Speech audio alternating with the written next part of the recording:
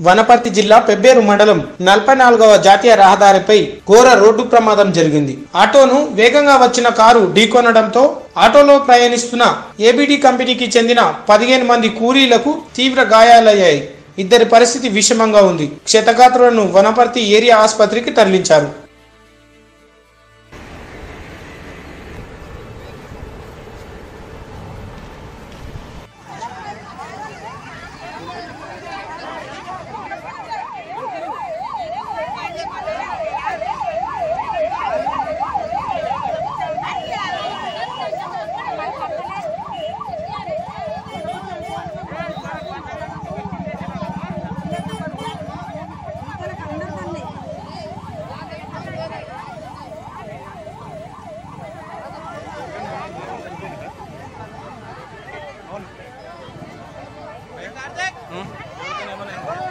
कबाब हो गया सीरियस होना नहीं मुंदर आप इसके पे